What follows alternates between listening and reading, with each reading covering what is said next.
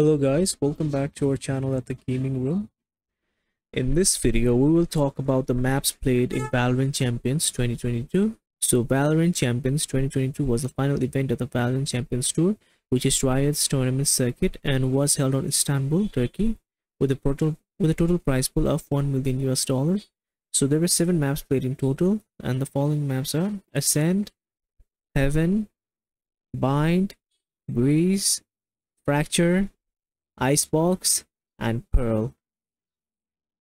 With all the 7 map, 86 games were played on the total of the map and and in all of the maps played, attack has a win percent of 49% while the defensive win is 51% in total among the 7 maps. Thank you so much for watching this video. If you like the video, do like the video and subscribe to our channel at Gaming Room and don't forget to hit that bell button icon to get latest updates about our videos. Thank you.